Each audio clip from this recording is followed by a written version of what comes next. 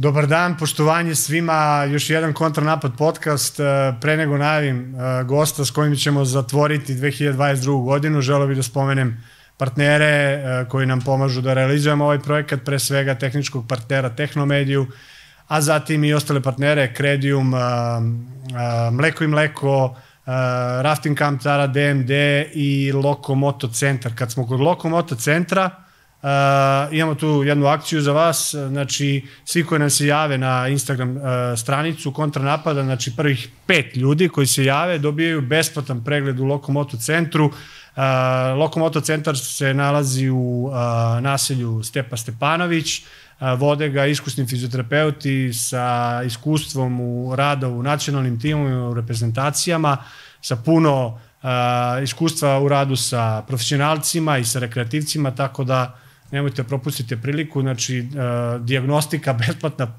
da prvi pregled, uh, javite se na, na naš Instagram, a mi vas šaljemo dalje. E sad, da najavim čoveka uh, čiji sam ajde da kažemo veći deo ili, ili gotovo celu karijeru onako ispratio uživo i, što, i u Srbiji i u inostranstvu i poslednju veliku utakmicu, a i ove trenerske pratim. Uh, najbolji srpski rukometaš u protekloj deceniji, jedan od najboljih levih bekova u uh, Evropi u protekloj deceniji, dvostruki osvajač Lige šampiona, jedan od pet najboljih strelaca u istoriji Lige šampiona i sada uh, jedan od redkih srpskih trenera u, u ekipnim sportovima koji radi u top 4 ekipe u Evropi. Dame i gospodo, umorio sam se, Momir Ilić. Žiko, pozdrav tebi, dobro ti to ispriča treba to i opravdati sve. Sad da. u ovoj trenerskoj karijeri, hvala ti na pozivu. Kao što sam ti malo pre rekao, zaželio sam se e, nekog intervjua, nekih e, televizija a, srpskih, a, ali drago mi je što si me pozvao i želim da ti čestitam na novoj ideji i na ovom podcastu kojim se sad baviš. Hvala. Neću da počnem sa crnim, obučen sam u crno, ali pričali smo o tome E, zainteresovanost medija za, u Srbiji za, za, za rukomet i šta ti radiš i na kom nivou i koliko je to ovako ili onako propraćeno u zemlji odakle si, u zemlji koje si donao medalju i tako dalje i tako dalje, ali pričat ćemo i o tome. Za početak, evo, završio si polusezonu i reklo bi se da ti je malo glavobolju pred ovaj pauzu, pred odmor ove zadnje dve, tri nedelje donelo M povrede, M nešto slabiji rezultati od tog Zagreba, malo, se, malo su se planovi pokvarili. Pa planovi su ostali isti, ali ono kad vratim film od samog početka koliko smo imali utakmica sa prijateljskim utakmicama, sa četiri nova igrača, adaptacija, a, mogu da budem skroz zadovoljan. Rekao sam igračima na završnoj utakmici da su odradili fenomenalan posao.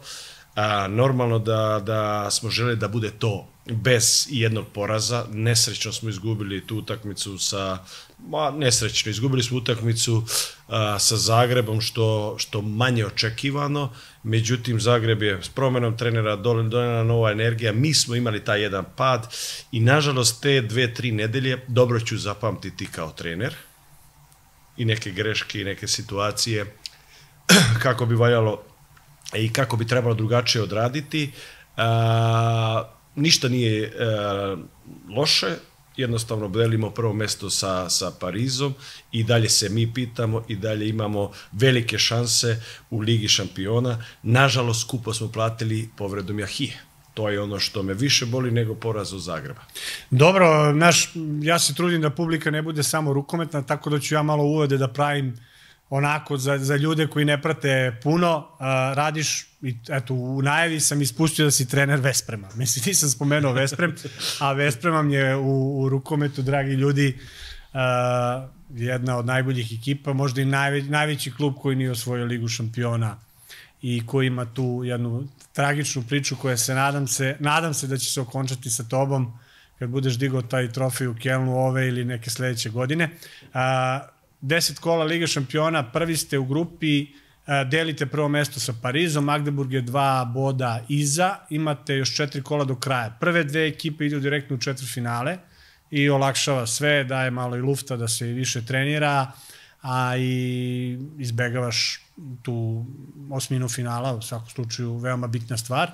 A, imate do, do kraja, dola, idete uh, i u Magdeburg i u Pariz i onako dosta zahtevan raspored, četiri kola, morate nekog da pobedite u gostima. Pa pre toga mi imamo dva, dva, dve utakmice sa, sa Gudmeom i Portom. Naravno, bit će jako teško. Kad govorimo o tome, to, to je moje interesovanje i moj fokus na te dve utakmice. Uh, zašto? Uh, pričali smo i pre ovog intervjua da da mi je potreban jedan desni bek, možda i dva čak. Razgovarali smo sa klubom, sad smo u, u, u trenutku traženja novog igrača ko može da nam pomogne za šest meseci, za godinu dana. Sve zavisi koliko će Jahija biti odsutan, ali definitivno nam treba pomoć na toj poziciji. Sa nekim dobrim adekvatnom zamenom možemo da očekujemo, očekujemo neke, neke utakmice kao što su Gudme i, ovaj, i Porto kući da pobedimo ja kažem opet i mojim gazdama, možemo mi sa Dešnjakom da pobedimo utakmicu, ali ne možemo da ispunimo ciljeve, tako da oni su spremni za to, žrtvuju se svi, rade svi na to, na tom na tom planu, Laslo Nađi i Mr. Zoltan Čik, ali normalno da je teško sad i da je teško naći neku adekvatnu zamenu. Tako da imamo još mesec i po dana da, da do tog samog početka i nadamo se da će svi posle svetskog prvenstva doći zdravi u klub. Da, to je osnov. Kroz tu prizmu ćeš i gledati svetsko prvenstvo. Verujem da, dakle. ok, navijaćeš za Srbiju, pomalo i za Mađarsku, pretpostavljam, a, a najradije bi, bi volao da se sve završi, da, da svi dođu zdravi pravi. To je to. Ja navijam uvek za Srbiju, to je definitivno, a, ovaj, a, ostale a, e, reprezentacije gledam samo stručno i Eto, profesionalno. Dobro, dobro. Ok, ništa. Sutra ideš na odmor i dozvolit ćeš sebi 10 dana a, van rukometa, van Srbija, na, na mestu gde je sitan pesak, gde je lepo vreme, gde nije murno, magla, kiša. I sad kaži mi, koliko, koliko ćeš moći rukome da izbaciš iz glave i sve to što te, što te čeka? Pa, nadam se da ću moći. Pre svega dugujem svom sinu i svojoj supruzi da, da to vreme posvetim maksimalno sa njima, da budem ja koncentrisan na njih i svu pažnju da podredim njima, a ovaj rukomet da zaboravim na desetak dana, ako je to moguće. U mom slučaju to biva pa 5-6 dana i posle toga se vraća. Ideje neke dolaze, ali to i u suštini nije loše kad se, kad se e, telo odmori isto, isto ovaj, e, malo se osvežim, dolaze mi neke nove ideje, neke novi, novi trenizi, volim čak šta više i volim u tome da razmišljam i to mi ono nekako daje motivaciju za, za, za nekim daljim radom i postrehom. Dobro, Ciljevi, zna se, Vesprem mora da osvoji sve i to je jedan od redkih klubova uz Barcelonu, uz Kiel, manje više tu se završava cela priča, eventualno Pariz, to su klubovi, to je grupa klubova gde jednostavno samo je dobro ako se pobeđuje. A, opet u rukometu je apsolutno besmisleno pričati o bilo čemu i e, sve dok ne dođe april, maj, i dok ne dođe u suštini od marta do maja taj krucijalni deo sezone, a i kad se dođe do tog Final Fora, tamo se ništa ne zna. Mislim, dosta puta si to iskusio kroz karijeru.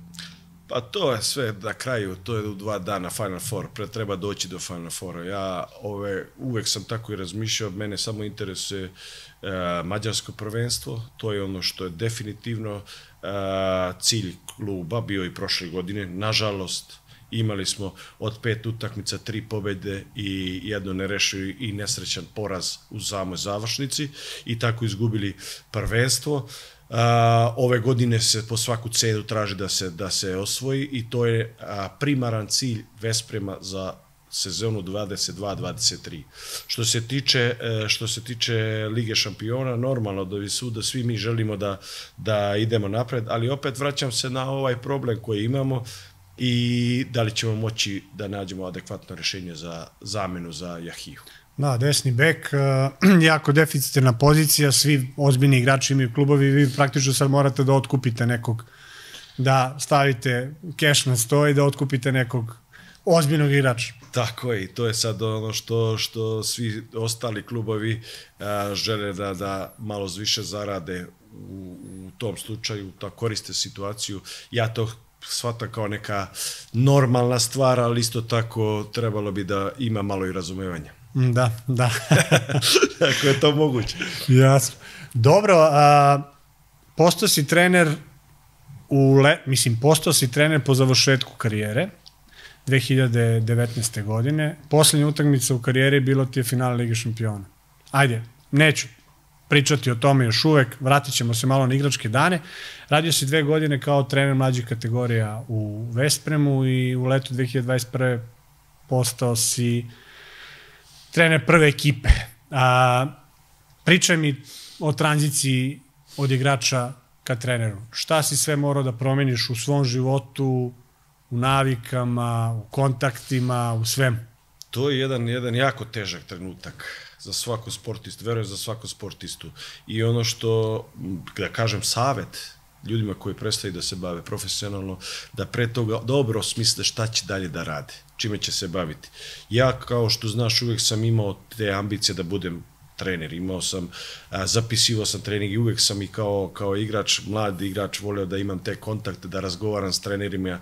Nekako sam gledao njih kao neke autoritete i to je mene nekako ispunjavalo moje ideje, moje ideje sam tad zapisivao kako bi ovaj radio sa, sa nekom ekipom koju bi ja preuzeo. Jednostavno ja ovaj posao obožavam. I to je nešto definitivno čime sam ja znao da ću se baviti. Međutim, kad sam, ovaj, preuz, kad sam prestao da igram a, a, rukomet, krenuo sam znači, da tražim svoje trenersko mesto To naravno nije, nije tako bilo lako, zato što svi traže nekog iskusnog trenera, imao sam mogućnosti, bile su to kombinacije za, za Nemačku, pa na kraju nije to uspelo, pa kombinacije uh, za Sloveniju, svuda negde sam tražio nekako da, da krenem možda odakle sam počeo tu rukometnu karijeru. Pričam za inostranu. Nije išlo jednostavno moji planovi su bili vezani za to, morao sam u jednom trenutku da promeni planove, da kažem aha, moram da imam drugo rešenje, a to je neki privatan biznis čime sam se bavio.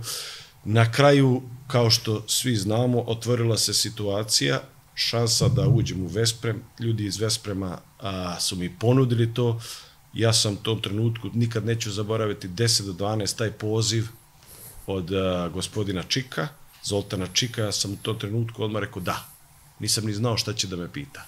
I to je ono, mislim, u sebi, ja figurativno govoreći. A, volim ovaj posao, kao što kažem, e, kao što sam rekao, i želeo sam to da radim. Znao sam da sam uleteo u Formulu 1. To je to. Vratit ću se na, na... Mislim, to, to, pričaš o periodu, malo smo to ispominjali i pre emisije, Tako znači je. već si bio u nekim planovima možda i da, da, da. da dođeš u Srbiju, da negde se resetuje što se kaže, ali što se kaže, jedno, dok jednom ne smrkne, drugom ne svane, to je tako u trenerskom poslu. Tako je, tako je, sam sve Davis Davis dobija otkaz posle gubitka titule od Segedina i sve se okreće preko noći. Tako je, to je tako, uh, tako, to je tako se desilo. Spreman sam i na to da se i meni desi, jer trenerski je posao takav kakav jeste. Uh, samo si dve utakmice, siguran, ostalo ništa nisi siguran. Tako da, ovaj, to su neke stvari. Vratit ću se na ovo tvoje pitanje. Uh, ljudi i sportisti koji završavaju, ako nemaju plan, ideju šta dalje, problem je to zato što više nikome a, moraš da krećeš život od samog početka. Moraš da se navikavaš na život normalni. Mi kao profesionalni sportisti imali smo sve obezbeđeno.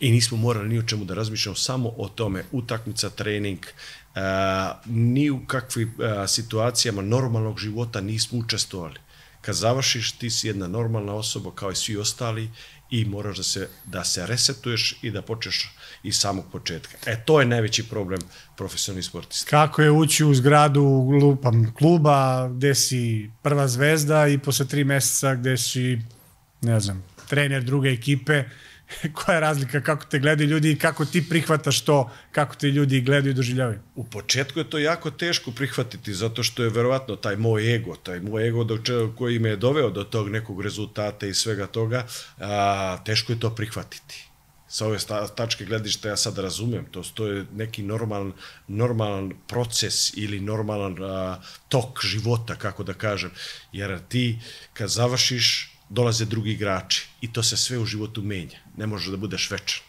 Pa čak ni Mesić kad završi, on je samo Messi, to je to, ostalo je, ostalo dolaz, doći će drugi igrači, doći će Mbappé ili ne znam, već, već je došao. Tako da, da to je malo teško i daću jedan primer šta mene je zabolelo u tom trenutku kad, sam, kad je korona se desila, ja sam bio u akademiji. I ja sam zamolio ljude iz kluba tog do jučerašnje koji su svi vrtali se tu oko nas a, da se ja, moja supruga i moj sin testiramo, tad nismo znali šta se dešava on se rekli, kaže, samo igre za igrače prvog tima ili za, za prvi tim. To je ono gde čoveka to zaboli, ali s druge strane sam razumeo, okrenuo se se i krenuo da radim na sebi. I tu je negde meni taj pokazatelj da moram da krenem iz početka. Puno radiš na sebi, ono što ja čujem, što znam i znam da se savet, da si imao puno dobrih trenera, misli, trenirali su ti Gislason i Sel Hasan Efendić i Ortega i tako dalje i tako dalje. E, Gužva Jevremović, naravno, pričat ćemo i o njemu, ništa. bez njega ništa, bez početka ništa, zemljače. O, tako da, a, ali posle završetka karijere imaš to da imaš svesku pored sebe, da imaš a, pun imenik trenera sa kojima pričaš, konsultuješ, savetuješ. Ko su ti ko, ko su ti, ajde kažemo, najčešće pozivani ili od koga najviše dobijaš poziv od kolega? Pa ovo to je, znači uvek kažu, uvek kažu treba se uzeti na dva, tri imena, ne treba previše, ovaj, normalno da se ja sa svim, manje više svim trenerima čujem. Uh, drago mi je da to, da to, i moram jednu samo uh, činjenicu da kažem, god sam pozvonio na vrata, uvek su mi bila vrata otvorena, misleći na trenere, Znači, gde, koje god trenera sam pozvao na svetu koje znam i ne znam, oni su se odazvali, izašli mi u susret kao mladom treneru, kao početniku i to je neka fenomenalan osjećaj za mene. Znači, od jednog Noke Sardarušića, da kažem, legendarnog Vlade Štencela, koji, kod kojih sam razgovarao, bio kod njega kući, pa posle Noka Sardarušić, Sead Hasarfedi, da ne pričam, s njim sam uvek u kontaktu i dok sam bio trener od Gislasona, svi ti trenera od Ortege, Nikola Jakobsena, mislim, to su stvarno svetska trenerska imena, veličine, tako da zaboravit ću nekog, ali hteo sam da, da, da napomenem zašto mi je to bitno, gde god sam se, da kažem, gde kogod sam pozvao, uvek su mi se odazvali i gledali da im pomognu. Velimira Petkovića isto tako, tako da, kažem ti, puno, puno imena. Znam da si Koštencla išao u njegovo selo, Jest. u Dalmaciju, da ste se kupali par dana, družili i da si upijao sve te genijalnosti koje, jer je čovek genijalan uh, u svakom smislu uh, i sa toliko godina, takvog bistrog uma, 88 godina, neverovatan. Kaži mi šta si naučio od Vlade Štenca? Normalno, tu možeš uh, Mislim, bio si tamo, to? Bio, bio da, da, da, jeste, bio sam kod njega. Malo riba, malo... Tako, uživanje i, i sa njim razgovor uh, oko rukometa, uh, njegovi trenerski početci, svi te neke, sve te neke stvari što su me zanimale, a imao sam dosta, dosta pitanja, uh, mnogo toga. Mnogo toga, iz, ja sam gledao gde sam imao problem, zvao sam tog trenera i gledao sam ko može da mi pomogne u tom trenutku Uh, kažem, vraćam, Vlado je neko, neka jedna rukometna legenda, uh, već sad u, u poznih godinama, ali kao što si rekao, dosta dobrog uma, i, ovaj, uh, ali rukomet je se dosta i promenio. Tako da, da sam gledao da, či da i a, razgovaram sa, sa Nokom, sa Nokom dosta razgovaram i sa Seadom najviše. Sead je taj koji sa, s kim najviše razgovaram. Sead je jedan ozbiljan rukometni fanatik i treba ga, treba ga ispratiti i treba imati energiju da, da, da se radi sa Seadom, dakle, pretpostavljam. Pa jeste, ali, ali nekako ja uživam, uživam u razgovoru sa njim i, i dosta me prati. A, njegove, da kažeš, kritike a, na moj rad a, mi pomažu, to je ono što, što uvek treba imati nekog pored sebe ko će da ti kaže iskreno gde sam pogrešio i to je ono što ja sam prihvatio, učim na svojim greškama i samo mislim da je, da je to pravi put kako mogu da budem sve bolji i bolji trener. Dobro, a, kada si postao trener tog leta, znam da si imao zakazano letovanje, paži, zanima me ta tranzicija od uh, saigrača nekog sa kojim se, sa kim se družiš porodično, uh, obeležavate razne rođendane, putovao si svuda, bio cimer i tako dalje i za pet dana ti se postavljaš kao trener. Imali smo, ne znam, čuvena je priča Željka Obradovića koji je ono, to mora da u, u tri dana da, da, da promeni. I koji ima onu čuvenu da prvih ne znam koliko, šest meseci nisam spavao jer sam se plašio da će igrač da me pita nešto, a ja da nemam odgovor. O, ali ajmo sa ovim letovanjem, imao si zakazano letovanje, druženje na letovanju sa Štrlekom, je li tako? Da.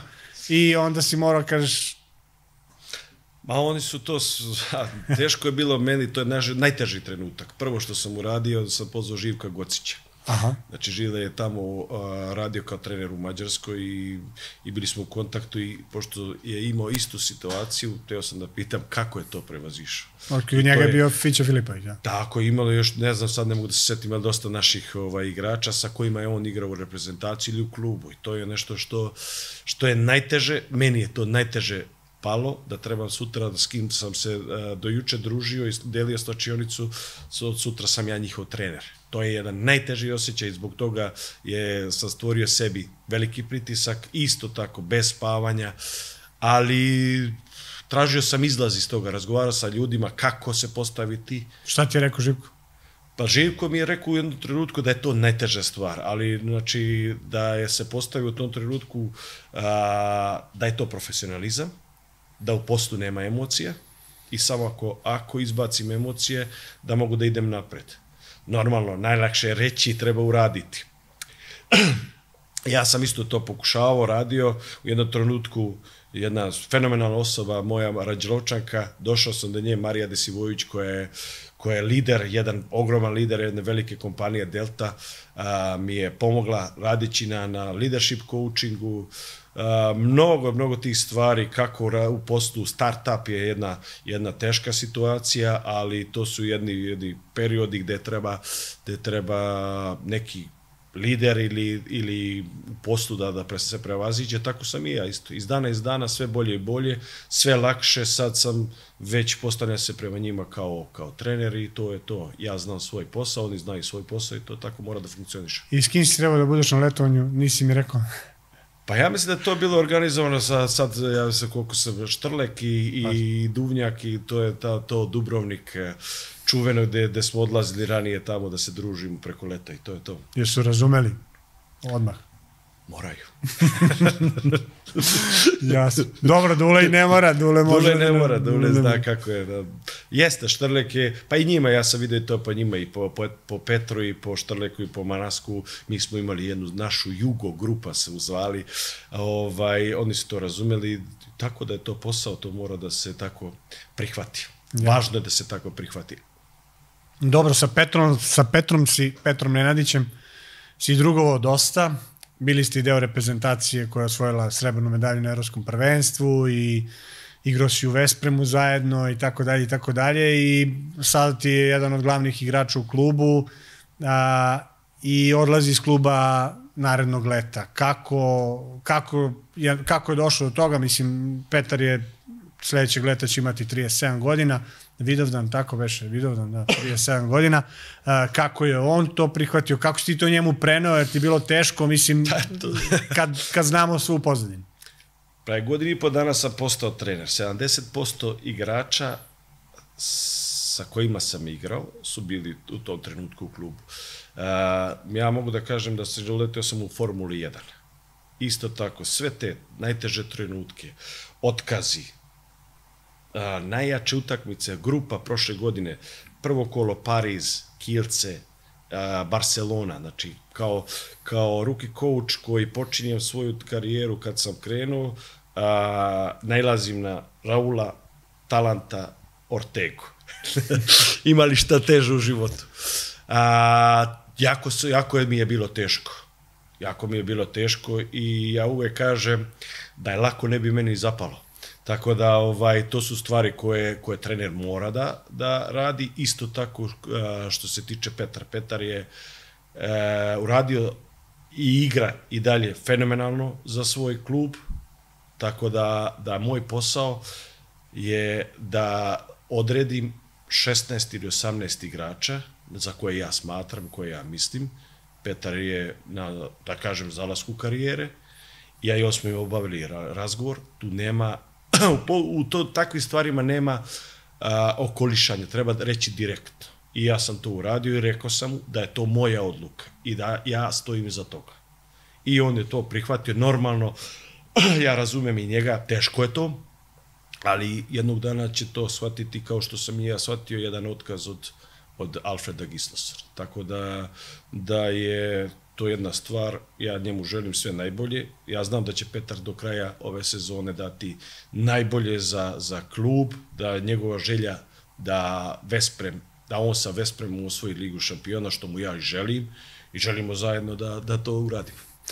Uh, kako bi to, ja, ja stvarno pokušavam da zamislim to slavlje kad Vesprem osvoji ligu šampiona koliko će to muke koja traje 20 godina da se, da se ne da se izlije, nego kako da kažem, da se pretvori u, u neverovatno veselje i mislim, Vesprem je izgubio koliko finale, ja više ne znam, pet, ali tako nešto. I svako to finale je bolilo na poseban način, ima posebnu priču i svaki put se mislilo, evo ga, sad će. Mislim, i na tvom poslednjem finalu 2019. godine Tako je. Imali ste lakše polufinale, imali ste dužu klupu u odnosu na Vardar i samo ste stali u finalu. Pa mislim da je to da, da kažeš, jedan pritisak koji, koji se čeka godinama i godinama, možda i više od 20 godina se čeka na, na, na Ligu šampiona za Vesprem. E, ja želim da verujem da to može da se uradi, kao što sve u životu svom kažem da može, i, i duboko verujem da Vespre može da osvoji Ligu šampiona, Znači, samo treba verovati u to, jednostavno raditi i ja sam siguran da će doći. Kad? To ne mogu da garantujem. Dobro, spremaš ekipu, napravio si rezove, razne rezove. Pomlađuješ ekipu, uh, ekipu koju si vodio prošle sezone, ti si nasledio praktično i tu nije bilo igrača koji su bili neki tvoj izbor ili možda tvoje viđenje rukometa. Sad si to malo uh, a, ajde da kažem, upodobio neko, nekim svojim razmišljenjima, doveo si Dragana Pešmalbeka. Inače, Dragana Pešmalbeka, našeg reprezentativca francuskog porekla, tata Francuz, mama, mama, mama Srpkinja, doveo si tako što si otišao u Aranđe, ne, u Valjevo. U Valjevo, u Valjevo. U Valjevo i seo za njim za sto i šta si mu rekao? Pa ja sam njega, Dragana, sam ja pratio već dve godine kako igra za Nant i negde je to u mojoj glavi bila želja da ja dovedem njega znači zbog njegovog karaktera, neverovatnog karaktera, a, njegove kvaliteta igračkog, to je ono što, što sam mislio da, da Vespremu nedostaje. Otišao sam, pozvao sam ga, on je, pošto je bio, ja mislim da je tad debitovo za, za reprezentaciju Srbije, i hteo sam sastanak sa njim. To je prvo, znači, to leto sam ja postao trener Vesprema, odmah sam ga zamolio da možemo da se nađemo, našli smo se u Valju, porazgovarali, jednostavno u pet minuta se dogovorili i to je to, tako je krenula naša saradnja. I kakva je saradnja posle šest meseci na terenu, jer opravdao sve ono zbog čega si ga do...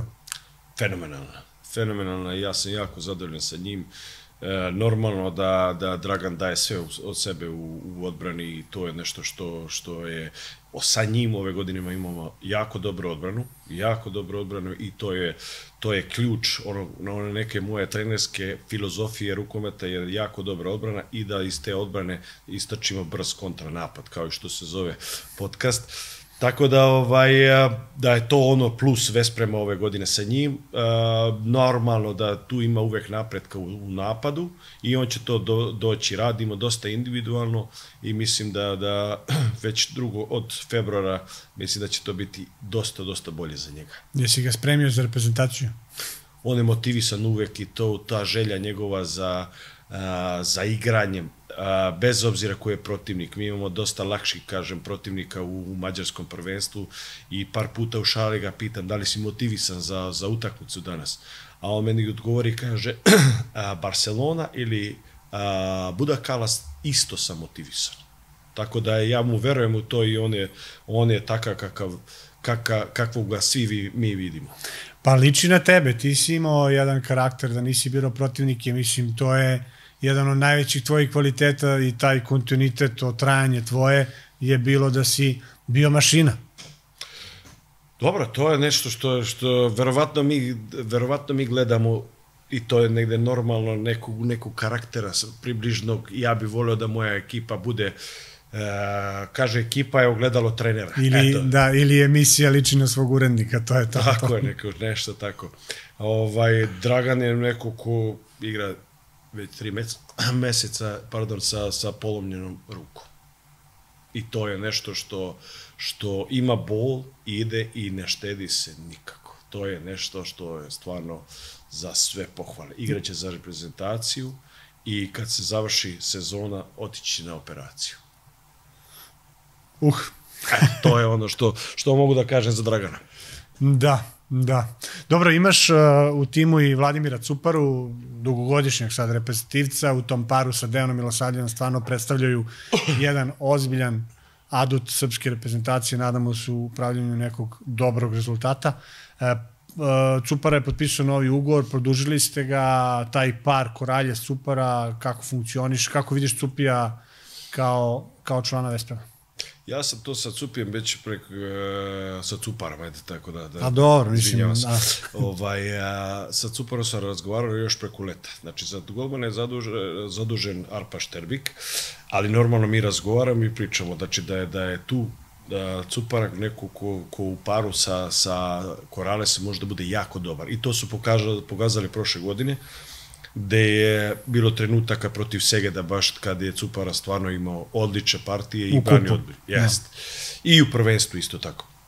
Tako da, da se uh, dopunjuju, imamo, mislim da, da od golmanskih parova u, u Evropi, tu su Znači, kao što klub zaslužuje, znači, umeđu četiri, tako imamo i golmane. E, nadam se da će isto tako da do kraja godine, gde će nam biti važno, a to je, to je za mađarsko prvenstvo biti na tom nivou i, i da možemo da, da uz njihovu pomoć da, da, da osvojimo titulu. Dobro, uh, gledano Ligu šampiona, uh, je te nešto iznenađuje ove sezone, jer sve ide svojim tokom, Mislim, evo, Kelc ima problema sa financijama, vidjet ćemo, to Vardaru nije smetalo 2019. da osvoji titulu, čak čini se da je bilo i kohezijani faktor neki, ne znam da će Kelc to tako da razume, ako uđu baš u probleme, kakvi se nagoveštavaju. Kako vidiš sezonu, generalno, ko ti se tu najviše, ko, ko najbolji igra?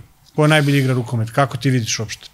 Pa definitivno, kao što si pomenuo, Kilce, Kilce igra taj jedan jako dobar rukomet već godini po dana i to je od, od prošle godine kad smo bili sa njima u grupi, tu se pokazuje, imaju kvalitet, još sa Remilijem se dobili, još jači su što se tiče igrački. A, mislim da Wolf brani na bro, mnogo boljem nivou nego prošle godine.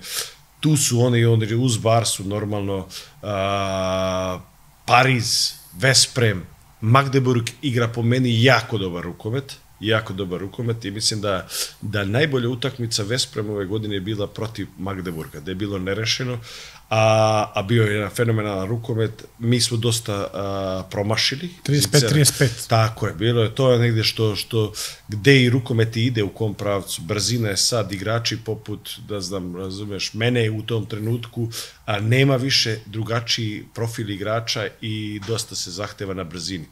Tako da, da Magdeburg je neko ko je, ko je pokazao dosta, sad vidjet ćemo kako će u drugom delu igrati.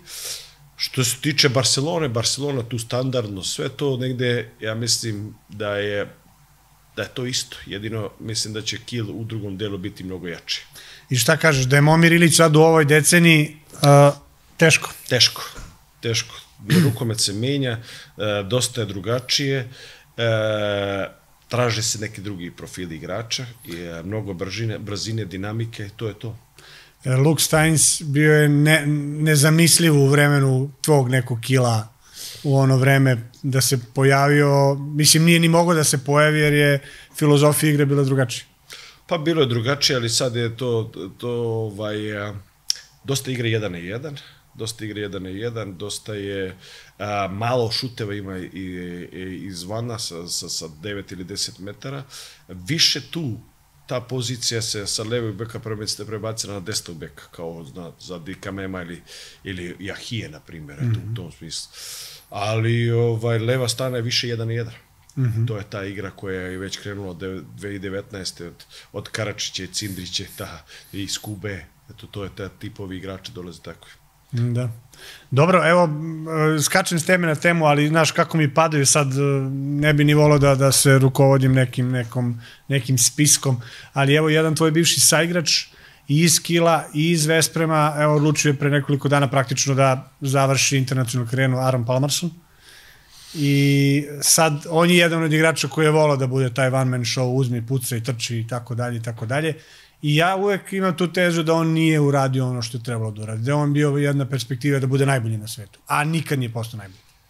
Zbog njegove glave. Definitivno njegova glava je u pitanju. To je, evo, kao koji on doneo odluku, to je njegova odluka sam, ja ne znam da li je to u suštini konačna odluka, treba dobro to proveriti šta se tu dešava. Sa Aaronom se nikad ne zna. E, isto tako i igrao Znači, on kada je imao volju, on je bio najbolji na terenu i mogao da odluči utakmicu, ali to sad je pitanje voljnog momenta. Ja sam igrao, ja znam Arona kada je došao sa 19 godina u kilu, ponašao se kao da je, kao da je sve živo osvojio, ali tako je igrao i ta njegova arogancija je njega dovodila do tog nivoa, dovela do tog nivoa dokle jeste, uz naravno njegov kvalitet, ali isto tako ima te njegove ludosti. Tako da, jako, jako buran život što se tiče Arona Palmasona. Da, otišao iz Vesprema nenadano i to u Vespremu mu nikad nisu oprostili. Uh, pa i sad iz Olborga odlazi uh, pre završetka ugovora, a iz Kila čini mi se da nije otišao baš tako, uh, ajde da kažemo, sa, sa razumevanjem uh, zebri u to vreme. Jaron je jako dobar dečko, to je, to je definitivno. On ima, ima te specifične momente kad se zaljubi. To je ono kod njega pravilo najviše problema. Dosta je osetljiv, rak je i, i u toj situaciji e, kad se zaljubi on izgubi glavu. Puno, puno odluka donosio u takvom stanju i ja mislim da je uvek pravio greške kao i što sad, verujem da je tako nešto uradio. Raki, jer znaš koji su ti igrači horoskopi, jel i na taj način... Sve znam. jel analiziraš? Dosta analiziram, dosta, dosta pratim ne horoskop, nego pratim svoje igrače ko je kakav i to me interesuje. Čitam o tome, gledam kako mogu sa njima da, da, da iskoristim njihove najbolje, najbolje ovaj osobine. To mi pomaže, to tako da, da se bavim time. Jel postoji, uh, uh, aj sad tako kažem, uh, taj fenomen da trener bude zaljubljen u igrača nekog i može da mu da više nego što, da bude u zabludi, neću kažem zaljubljen, da bude u zabludi, a da onda se prevari i kaže, e, nisam trebao da mu dam tu ulogu ili da mu dam toliku slobodu ili već kako. Mislim, mladci još uvek, ali verovatno za, za 10 godina ćemo moći pričamo o tome. Ne? Pa verovatno, ali postoji sad i u ovom, i u ovom momentu kod mene da, da ja imam neku ideju i, normalno da, da ko radi taj greši. Sigurno da, da negde možeš da napraviš grešku, neku odluku. Uh, puno tih stvari uh, analiziram sebe posle utakmice, razgovaram, gde sam pogrešio, gde sam mogu da uradim nešto bolje, gledam i polazim prvo od sebe, kako bi, kako, kako bi napredovao i definitivno da, da nema čovjeka koji ne greši. Isto tako koji igrača oko nekih odluka, ko, ko treba da, da, da počne, a, ko treba da uzme tu zadnju loptu. To su sve neke stvari, to su delići, to treba, verovatno će kod mene to doći s godinama i sa iskustvom. Dobro, imaš stručni štab, a, jel uloga psihologa, mislim, verujem da niko nema psihologa od ozbiljnih klubova i da igrači često i to relativizuju. Vi ste imali u reprezentaciji, pa ne znam koliko ste to ozbiljno shvatili, koliko je to strano telo, kako si ti to doživljavao ranije, kako to doživljavaš sada, da li je potrebno uopšte, mislim, na papiru da, ali u praksi da li to realno prolazi? Ja mislim da je problem psihologa tu negde ovaj, svi se da kažem pribojavaju da imamo neki problem u suštini. To je, ja nisam protiv toga, ja sam čak šta više da igrači idu individualno ako imaju problem i treba raditi na sebi da bi u nekim određenim trenucima mogo da savladaš te neke probleme ili te neke pritiske ili šta već ko ima, koje, kakve probleme. E, normalno da, da grupne te e, kako se to kaže, grupne te Seanse. seanse, ja mislim da to ne može dobro da deluje, ja mislim da je najbolje da to bude individualno i i jedan na jedan, to je nešto što može da pomogne što se tiče samog psihologa. Mi u klubu nemamo, mi u klubu nemamo. E, kod mene radi Srđan Zirović, koji je i kondicioni trener, ali isto tako dosta je posvećen psihologiji, načinu stresa, kako rešavati stresove u pojedinim momentima, tako da, da je da nam dosta pomaže što se tiče i obuke samih igrača. Da, doveo si Srđana Zirojevića uh, prošlog leta, on je ajde da kažem poznat, mislim ljudi vide na YouTube-u tehnike disanja, stres, tako dalje, osim fizičke pripreme, ajde da kažemo tako je mislim danas ružno zvuči reći Instagram zvezda, ali je čovek ne, neko ko radi na Instagramu i na mrežama i pomaže ljudima ili savjetu ili šta god. A, video sam i one štipaljke na nosu, trčanje, je li tako bilo?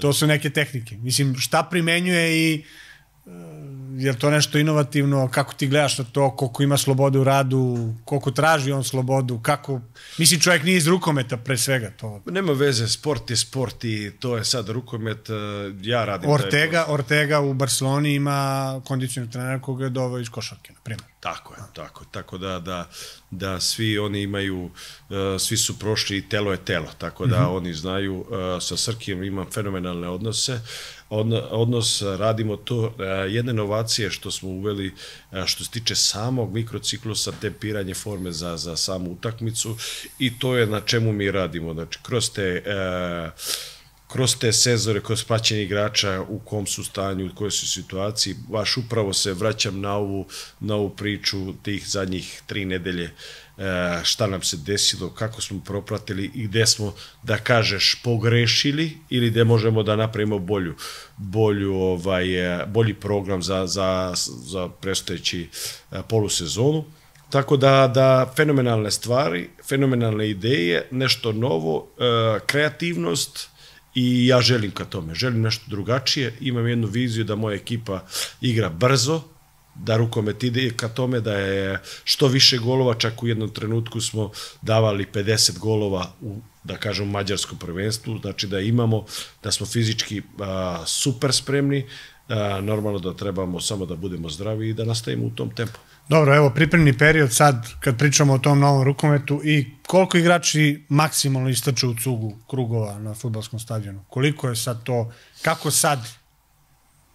Je to tri kruga, pet, osam, nekad se trčali po 10 km, mislim, to je davna prošlost, pretpostavljam.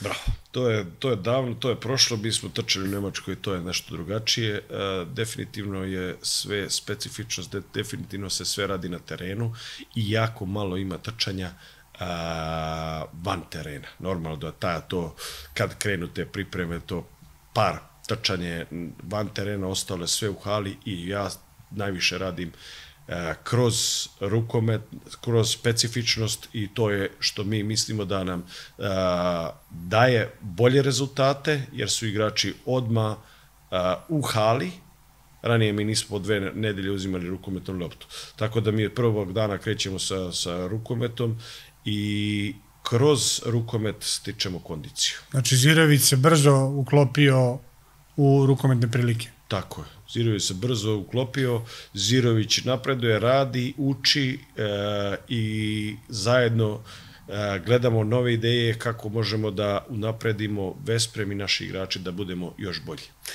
Koliko pričaš s igračima jedan na jedan? Pitam te na nekom nedeljnom nivou. Kad napraviš plan, jer to su, jer ti kad kreneš ujutru u halu, jer znaš da ćeš ciljano s ovim pričati o ovome, s ovim o ovome, jer imaš onako taksativno navedeno od ponedljika do petka sesije sa igračima ili, ili, je, ili je to produkt možda nekog trenutka ili već kako? Kako? Sve zavisi, nekada je to znači, isplanirano kroz mentalnu pripremu, pošto ide šta je mikrociklus, mentalna priprema za, za tu utakmicu i razgovor sa pojedincima.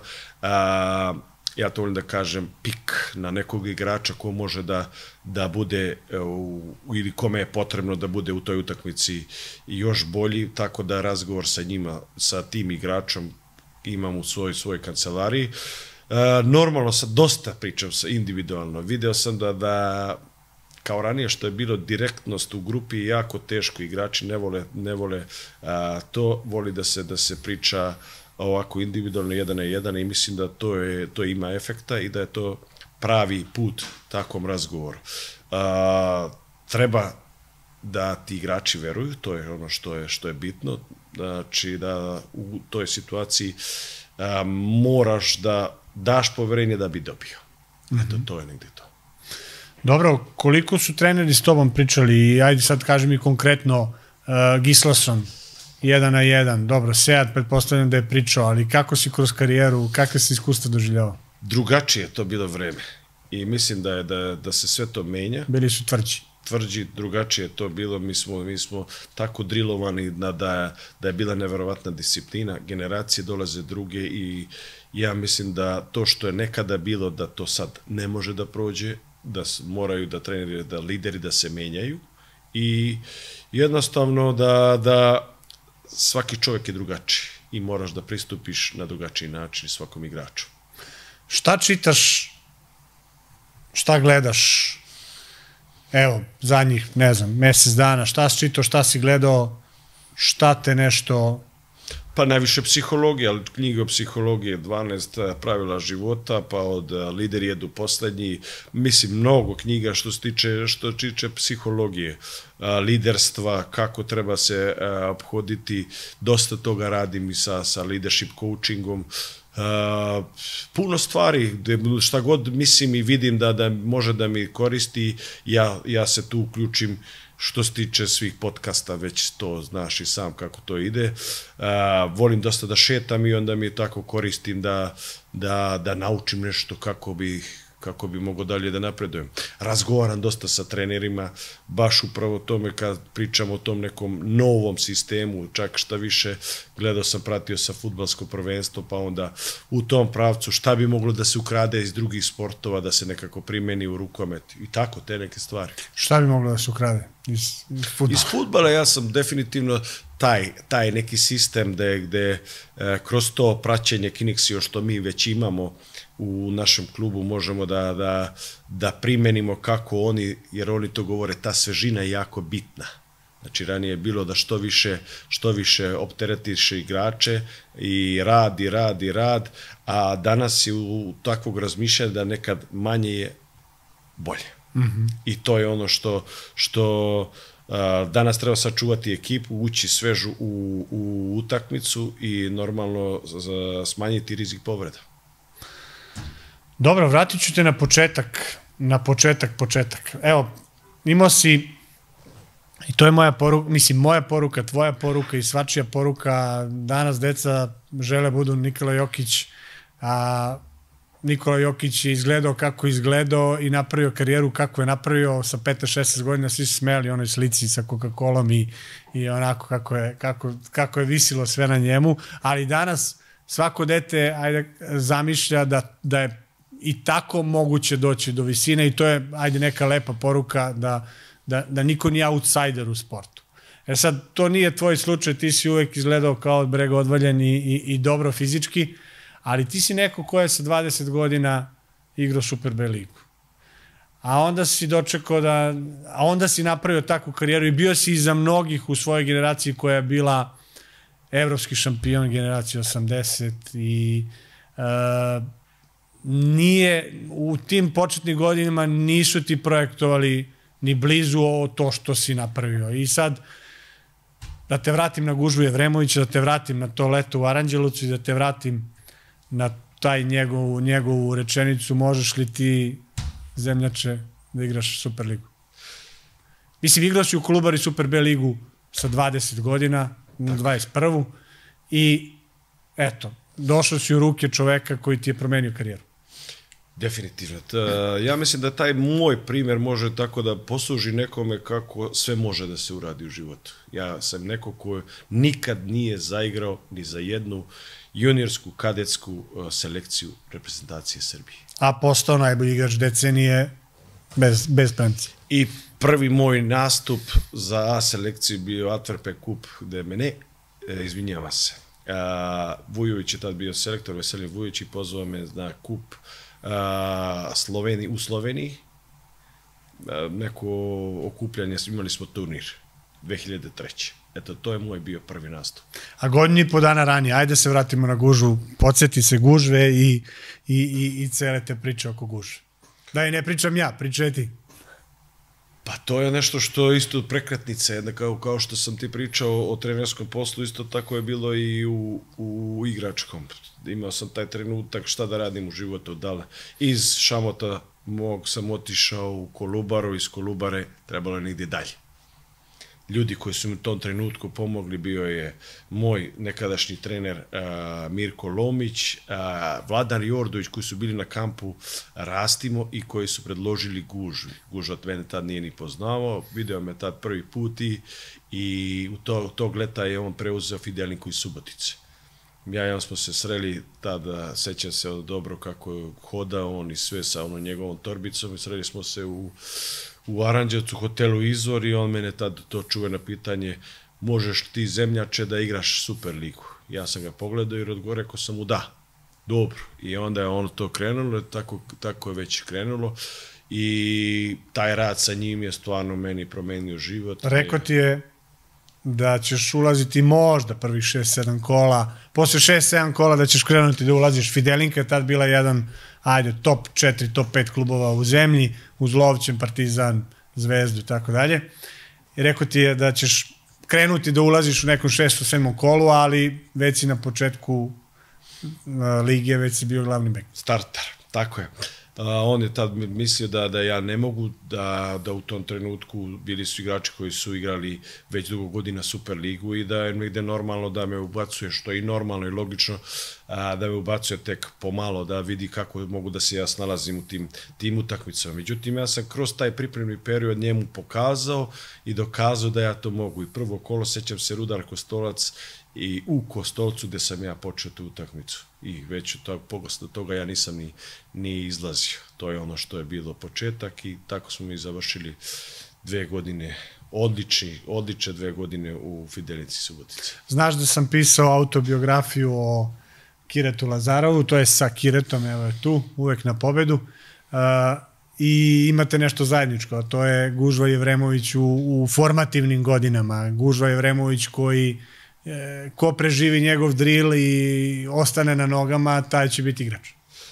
Tako je to tada bilo i stvarno to je negde, ja mislim da, da, da te van komfort zone tu su jako bitne za napredak i on je to tada u tom trenutku radio, bacao te mlade igrače odma u problem, odma ih je u stres ubacivao, kao što je radio i sam na prva tri meseca, gde normalno bilo jako teško, ali sam ja se izborio, dokazao, pokazao i posle stvarno toga nije me, nije me uopšte, ovaj, da kažem, uopšte nije me maltretirao na, na taj način. Ako to može da se kaže maltretiranje. A šta, kao, daj mi neki opis maltretiranja.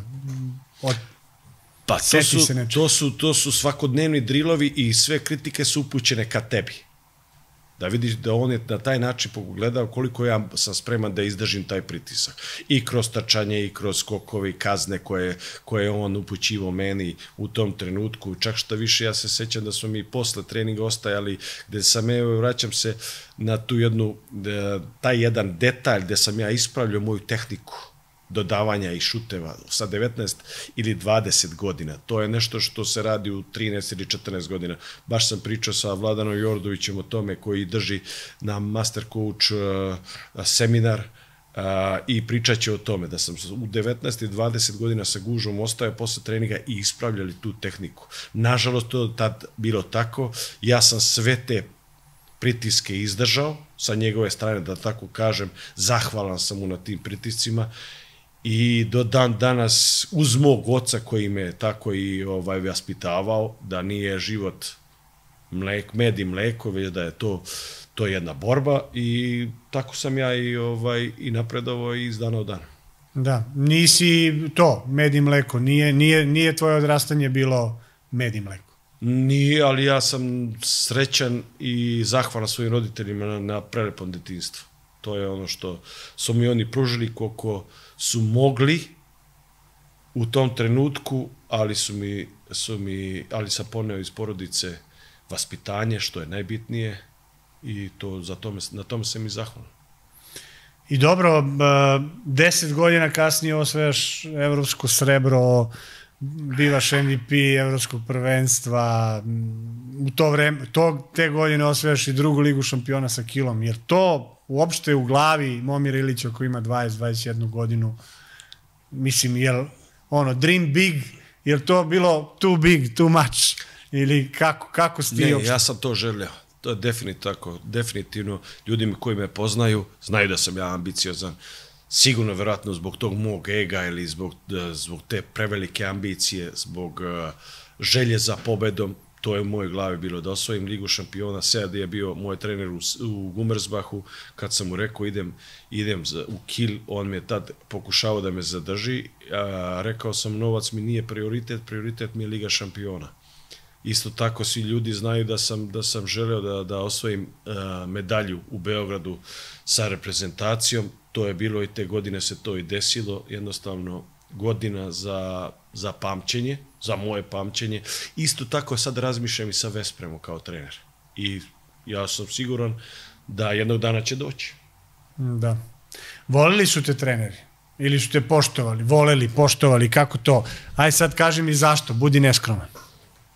Pa ne znam, ja sam tako, kao što si ti rekao za Dragana, davo sam sve o sebe. Imao sam ja, ja kažem opet, nisam bio ni lagan za, za kontrolisanje, imali smo dosta a, ovaj, već onako problema ali e, sa trenerima, ali jednostavno sam gledao da dam svoj maksimum uvek. Da li je to bio tren, trening ili da li je to bila utakmica, išao sam do, do, do, do maksimuma i to takav sam kao karakter. Verovatno to je to. Da. Dobro, uh, Fidelinka dve godine, eksplozija, odlaziš u gorenje, prvi put Liga šampiona, odličan korak. Gumersbach kod Seada, tri sezone osvojete, osvojete EHF kup i onda najbolje, mislim, najbolje, najbolje, četiri sezone. Definitivno. Najbolje četiri sezone sa kilom, Uber Fliger i ekipa koja je pobedila sve utakmice u sezoni Bundeslige, koja je osvojila ligu šampiona. E, pričaj mi malo o kilu. Treba puno vremena da se ispriča, to je nešto što ja uvek kažem, najbolji klub, rukometni klub na svetu, definitivno. Organizaciono, uh, armija navijača po celoj Nemačkoj kao Bayern Minhen u futbalu. Nešto kad pomenete Kiel, to je veliki respekt i dan danas svi bivši igrači koji odlaze, koji se vrate u Kiel, uh, su dočekani tradicija ogromna, uspesi kao što svi znaju. Uh, kažem, kada obučete dres Kila, drugačije se osjećate to je taj osjećaj, nekako ne može rečima da se opiše, jednostavno mora da se doživi. I to je ono što zbog čega sam ja ponosan da sam bio deo toga velikog kluba, klub koji je imao milion vrhunskih igrača u svojoj istoriji, ali niko nije bio veći od kluba. To je definitivno THV Kiel. I ja sam, kažem, presrećan što sam bio deo toga, što smo imali takav uh, uspeh ta, vratit ću se na 2010. 2012. 2012. nezapamćena i to je nešto što je nas krasilo. Mislim da je najveća, najveća vrednost te ekipe tadašnje, što smo svi delovali kao porodice. Imali smo mi ovaj kvalitet igrački, ali smo bili zajedno i to je ono što, bili smo gladni uspeha. Bili smo na proslavi 2012. barem onom delu proslave u Kelnu Uh, u onoj pivnici jednoj gde si nas pozvao nas par novinara. I o, to je stvarno, mislim, iz aspekta, sa aspekta novinara to je nezaborno, nezaborna stvar, a sa iz tvog ugla, mislim, dokaz jednog respekta prema nama u tom trenutku, jer ono, na, na krovu si Evrope, ovo ono, a zoveš da pitaš gde smo, šta smo, da dođemo, tamo igrači polugoli, svi, svi slave, svi skaču, svi pijani o, i uvlačiš nas kao prijatelje da, da doživimo i to, mislim, sa navijačima, sa upravom kluba, sa, mislim, odabranim navijačima, nije bilo tamo puno ljudi, tako da, bila je to super jedna generacija, mislim, kakvih igračina, Omeje, uh, Jiha, Kim Anderson, mislim, Narcis, Narcis, Alm, Alm. a Kakve brdo su to njuške bile? Brdo vrhunskih igrača i, i jako dobri ljudi. Pobednici i to je ono što, što sam tad osetio, što ranije nisam imao a, priliku da osetim, na primjer, kao što je to bilo Gumersbach, jer ti igrači su samo želeli bili gladni titula. I to je to. Te proslave su bile u kilu, mogu da sigurno kažem, su se održavale dva put ili tri put godišnje, a to je samo kad se slave neka titula. Da li je to kup, prvenstvo ili Liga šampiona. Nismo imali puno vremena za, za porodicu, nismo imali puno vremena za neki privatan život, ali sve je vredelo tog, tog tih titula i tih proslava zato što smo znali šta smo šta hoćemo. Jednostavno kad uđete u, u taj u taj ritam sa takvim ljudima ili se hvatate u to ili odustajete. Evo sad, ajde da te probam da te vratim 10 godina nazad. Uh, ta sezona 2011-12, vi, vi to osvajate s 34-34, Uber Fligeri, preleteli ste to, osvajate Kjelm. Leto 2011, Alfred Gislason ljut. Da, to je neverovatno. Ljut i kida vas na pripremama, ispričaj mi to. Bio o je... tome sam sa njim ovo leto i razgovarao, šta je uh mhm. -huh. radio, kako je sebe spremao za to. On je došao na, uh mhm. -huh. došao na pripreme, mi smo te godine 2011. izgubili prvenstvo titulu. Izgubili titul od Hamburga, došli smo, trebalo je da bude, u stvari organizovano je bilo druženje sa porodicama na, na ostrvu, dakle, eh, Daniel Narcis. Koja beše? Re... Reunion. Reunion. I i svi smo se našli na aerodromu u Parizu. Onako svi sreći posle nekog vremena, nismo se dugo videli. E, na prvo sedištu u autobusa je bio Gislason koji jedva nas je i pozdravio. Tako je delovo, znači, od prvog dana do samog kraja te sezone. Tako je delo. Mi smo mislili da ćemo uživati na, na tom ostrvu a, sa, sa porodicama, međutim, on nas je odmah prvo jutro bacio na teško trčanje i od tog trenutka, znači, shvatili smo da nema šale i da moramo da, da, da vratimo titulu da vratimo titulu u Kiel. Naravno, nismo računali na, na, na, na tako nešto, a to je bez izgubljenog boda. Šta ti je rekao 10 godina kasnije na tu temu? Da mora da se spremi čovjek a mentalno za tako nešto. I to je najveći, najveći uh, najveći da živi za to i on je žive do sad do zadnjeg trenutka kad je, kad je hteo da obori sve rekorde, čak šta više u njegovom oproštajnom intervju kad je davo, govorio je da, da ne znam, posle bodovi i koliko golovi, koliko postignuti golova, da, da u zadnjoj utakmici sa Gumrzbachom a, vodili smo 13 razlike, on je hteo da pobedimo 16 ili 17, mislim, stvarno je, znači, to je treba izdržati sam pritisak taj, a on se spremao za taj pritisak. I to je ono što je on nam, nas preneo to. Reci mi, slučionica kako diše, evo ta kilova slučionica. Jesi ti znao da šta igrači pričaju o Gislašanu u tom trenutku. Da su pozitivni, da su negativni, da li ono, kad, znaš, kad uđe slučajnicu lupam, baci peški kao da ovaj me jaše ovde i tako. Ili to... Pa to je normalna stvar. Da igrači će uvijek da komentariš. Onaj ko igra više, on će da bude miran, onaj ko ne igra, o, tako smo svi mi radili. To je, to je nešto normalno i na, na, ja mislim da svi treneri to i znaju. To nema, nema tajne oko toga. A, jednostavno, a, kao trener moraš da se fokusiraš na ono što tražiš, da postavljaš pravila, da postavljaš jasna pravila i to je najbitnije. Disciplina da se da se poštuje, da ima discipline. A to što je igrači, igrači će nedelju dana da govore dobro, posle toga ako ne budu igrano će biti tužni i nezadovoljni i sve tako u krug. Bitan je onaj, onaj krajni cilj, a šta hoće trener da postigne, to je verovatno osvajanje prvenstva i šta dalje, titule. Čini mi se da si najviše gutao knedle kad pričamo o tom možda odnosu trener-igrač ili već šta, igrajući za reprezentaciju. Mislim, to je s jedne strane ogromno zadovoljstvo, s druge strane, verujem da si tokom tih godina i godina i godina uviđao da može da bude bolje i da funkcioniše lakše i već kako. Definitivno najveći uspeh za mene kao igrača je osvajanje medalje u Beogradu. I to je nešto, najveći uspeh srpskog rukometa. A, tad u tom trenutku nisam mogao da shvatim šta je to, zašto nisam. A normalno da sam želeo i to onako kad si, kad si igrač nemaš ni to strpljenje, nego želiš odma sve.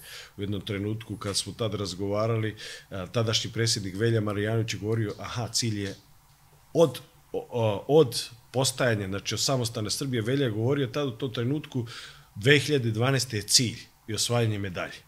Mi smo želeli, naravno, nismo tad bili spremni, nismo bili ni mentalno spremni, nismo bili igrački, dosta smo tu lutali.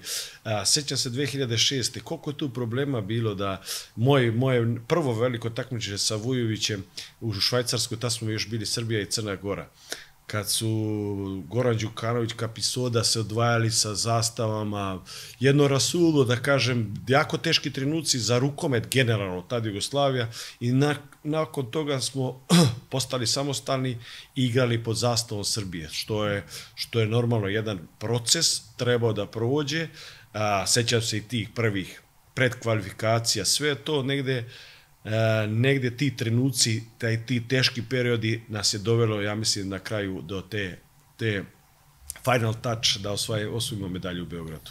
I tog čuvenog polufinala koje, koje ja mislim da da niko neće ni da zaboravi, to je uvek u sećanju. Kako se sećaš tog polufinala sa Hrvatskom? A, mislim, ne znam šta bih rekao. Pa nešto što, evo, znači dan danas kad, kad vratiš uh, sad iz ovog ugla gledajući trenersko, puno puta sam gledao to, tu utakmicu, tad u tom trenutku je bila strategija ta koju smo mi igrali, veliki pritisak na nas. Mislim da šta da, je bila stra, šta je bila taktika u tom? kompletna kompletna strategija Vukovića za to evropsko prvenstvo je je bila odbrana. I to je ono što je funkcionisao sa Darkom pozadi. Mislim da, da ja sećam tog prvog, prve utakmice sa Poljacima gde sam ja video Nikolu, Nikolu Manojlovića koji je prvi start na Diurecki, tada, tada levi bekom. A, to je neverovatno bilo. Ja, onda, onda se povukao tada u to. Nikola i Vučko. O, o, ozbiljno, Vučko, ozbiljno bitni igrač, da. Ozbiljno bitni igrači, svi su nekako, znači, ja mislim da je nas ujedinilo negde postojao taj strah i mi smo neverovatna grupa bila to evropsko prvenstvo. Neverovatno smo funkcionisali, bili smo smešteni u Kovilovu i tražili smo da budemo usamljeni, tražili, zahtevali smo samo da imamo koncentraciju na te utakmice i to je ono što, što je ključ bio svega. Postali smo tim, grupa od jedan put. I to je ono što je, ne može se reći, svi, svako je doneo a, nešto u tom, u tom prvenstvu. Ja se sećam, utakmice Žarku Šešum protiv, protiv e, Švedske koji je igrao fenomenalno, donio nam pobedu. Posle toga nesrećan slučaj uh, protiv Hrvatske šta se desilo Žarku. Mislim da, da vratit ću se na tu utakmicu sa, sa Hrvatima, imali smo veliki pritisak. Imali smo veliki pritisak. Veseli Vuković sad gledajući na to odradio je fenomenalan posao zato što je bio miran. I to je nekako ulilo sigurnost kod nas igrača posle tog polovremena, mi smo se vratili na teren i bili smo druga ekipa. Na tom prvenstvu si proslavio golove onim skokom ko futbaleri, onu, i onda si ukapirao na negde, je tako bila priča, ukapirao si da ti to mnogo energije oduzima i malo si prestao da, da, da skačeš ono gol kao na futbolskom prvenstvu si slavio, bukvalno. Pa jeste, verovatno da je ta, ta, ta emocija koja je kod mene ovaj, prepoznatljiva i negde uz tu publiku koja je bila fenomenalna tad sam, ne znam, nisam znao što da radim. Imao sam pre, e, višak, e, višak energije, emocija ta normalno da je bila prisutna. Znam da posle svake utakmice nisam mogu da spavam. To je nešto što je adrenalin radio i, i imali smo sreću da smo igrali svaki drugi dan, ne, ne svaki dan za, za ono, kako je ranije bilo, tako da sam mogao da se odmorim. Ovaj, vukla me ta energija, vukli su me ti navijači, želeo sam to po svaku cenu, spremao sam se, uh, znam da sam i kondicionog trenera našao, znači to leto pred evropsko prvenstvo da se spremi. S kim si radio? Sa, sa mojim rađeločanem, Pera Vujačić koji je radio sa mnom i pomogao mi dosta što se tiče toga, na tome mu hvala i zado, zadovoljan sam sa, sa tim što sam e, jednostavno tako sam razmišljao da, da, da se odričem mnogih stvari za, za neku najlepšu stvar, a to je medalja sa reprezentacijom. Um, Prokomentariši mi uh, ličnost Darka Stanića. Hm. Dobro pitanje. Darko je neko ko, ko je mogo mnogo, ali uradio je malo, samo zbog njegovih lude glave. Ja mogu to, to on zna, moje mišljenje njemu. On je ovaj neverovatna, neverovatan talenat, jako inteligentna ličnost, uh, zna šta hoće, Imao je problem svoje lenjosti, to je definitivno, i trebali su da se pogode trenuci kod njega kad bi on bio motivisan. Sličnost negde mogu da kažem uh, i Aronu Palmersonu. To su takve ličnosti uh, koje su koji mogu dosta toga da urade, mogu da odluče, a mogu tako isto da da ovaj i da zapostave. Nažalost, Darko nije uradio to što je mogao. Verovatno si on zadovoljavao sa tim nekim malim stvarima. Kažem, ponavlja, inteligentna ličnost i tražio je u tim malim i sitnim stvarima. Ambicija kod njega nije bila toliko izražena, jer e, verovatno je ta lenjost doprinela do toga. Ali neverovatan, neverovatan čovjek koji je znao šta, šta neće. A Vuković je znao šta mu treba ako je Darko takav, kakav drugi golman treba da bude, jedan radnik, jedan radilica, kakav je Draga Marijanac. Vi ste u timu imali onako momke koji grizu parket poput Toskića, poput Nikčevića, imali ste i drugačije profile. Mislim, kompozicija tima, kad se vratimo unazad, je bila ozbiljna. Dobra selekcija jako dobra selekcija, selektirano je i ono što nam je falilo a, u tim razgovorima, to kad je Vuković tražio neku srednje beka, ko će to da sve poveže. A, jako dobra selekcija, što se tiče toga, što se tiče a, Darka Stanića i golmanskog duo sa, Makijem, sa Marijance, stvarno su funkcionisali, njih dvojica jednostavno se nisu razdvajali i to stvarno videlo. A, Vuković je isto tako na jedan način, kao i svi mi isto, igrači, smo negde i trpeli to od Darka Stanića, ali znali smo da će nam on doneti i to je to, što mora da bude malo da drugačije, mora da, da istrpiš neke stvari da bi došli do uspeha. Dobro, tad je rukomet bio na, na vrhuncu popularnosti svega. Znamo da je ta utakmica Hrvatskog godinama bila najgledaniji sportski prenos i tako dalje. I sad znaš u kakvom je stanju rukomet u Srbiji u smislu popularnosti.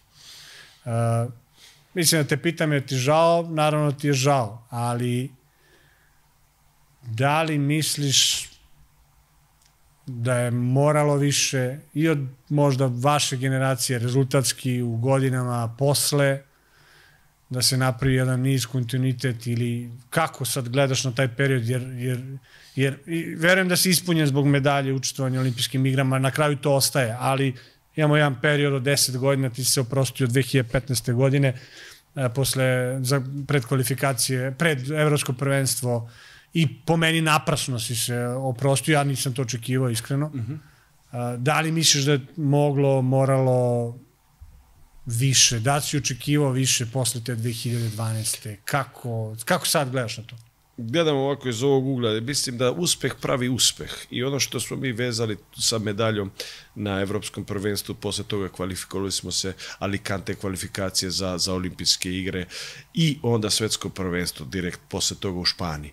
A, to svetsko prvenstvo mi je najžalije, da kažem, za, za olimpijadu imali smo i mogućnosti, ali imali smo i tu problema. Međutim, mislim da smo svetsko prvenstvo najbolje, čak šta više i bolje smo odigrali nego u Beogradu. Ali smo imali tu utakmicu sa Slovenijom, nažalost nismo pobedili, imali smo neki problema i to je ono što, što mi je žal za time. Šta je problem kod svega toga? Vratimo, svi negdje pričamo zašto je taj problem u Srbiji. Vratit ću se na, na 2012. gde nekako mi smo kao narod takav ne volimo da drugi, da, da ne volimo, a, ne praštamo uspeh. I, i stalno smo imali neke, neke trzavice, stalno su, su se neki ljudi provlačili iz drugih sportova ili, ili neki da, da smo mi tu osvojili samo zato što smo u Beogradu igrali, a kad vratimo sad film i ove, ove reprezentacije, Poljaci, šta više ne znam ko, svi su se kandidovali i niko nije došao do medalje, to što znači da nije Mađari, evo sad najsvežije Mađari nisu prošli ni grupu na svom prvenstvu. Tako da, da tu je negde problem generalno u nama Srbima Mi smo imali dobar domaćinski teren a, imali smo atmosferu kako, kako redko ko možda napravi i to je iskorišćeno, tu nema, nema šta, ali je činjenica da zadnjih da rukomet prati to domaćinski sport, ali da u praksi to nije tako. U praksi to nije tako. Mađari su isto imali taj ambijent u, u areni gde su igrali i pratio sam sve utakmice, a na kraju nisu a, ovaj, a, izdržali taj pritisak. To je najveći pritisak je bio na nama u tom trenutku jer je to bilo, kao što kažem, moranje da se osvoji medalja. I mi smo to izdržali i zasluženo osvojili i zbog toga sam ponosan. Vratit ću se na to zašto nije se nastavilo, kažem ti, negde uplivi drugih a, i neoprašenje tog uspeha negde je donosilo problem kod nas. I stalno se potenciralo to. Nažalost, mi smo narod kakav jesmo i vidjeli smo sad u futbalu ovaj, isto tako pre evropskog prvenstva i posle evropskog prvenstva kako je bilo sa, sa Pixijem Stojkovićem, tako da to je kod nas i to je kod nas Srba tako. Da, dobro. Uh, ajde da se vratimo u vreme sadašnje. Pratiš reprezentaciju Srbije, imaš i reprezentativice dvojicu u klubu, poznaješ i neku, ajde da kažemo, situaciju, ali evo, zadnje dve i po godine imamo jedan kontinuitet koji je preduslov uspeha, prvi trener, selektor, stranac, Toni Đerona, kako si ti vidio ove dve i po godine? To je jedan početak, mi moramo shvatimo da to je jedan početak, čovjek koji je došao sa strane i dugo se godina govorilo da bi stranac trebao da dođe e, u Srbiju da, da, da radi i nema nikakve problema i treba ga podržati. Radio i radi dobro, ja to nije znam i on ima svoj kvalitet i naravno da, da ima svu podršku sa, što tiče moje strane, ako uopšte to nešto i znači ali ovaj isto tako da, da ljudi koji su u savezu trebaju da, da shvate da je to jedan proces i da to ne može preko noći ništa da se uradi. Kvalitet, da kažemo, imamo, ali mi svi želimo da osvojimo medalje i svako takmičenje od medalje, što nije tako. Druge reprezentacije godinama to stvaraju imaju dosta dobre timove, znači da Srbija ne može da ide na medalju, mora da se, da se nađe neki put kako da se dođe, ali preko noći to ne može da se uradi.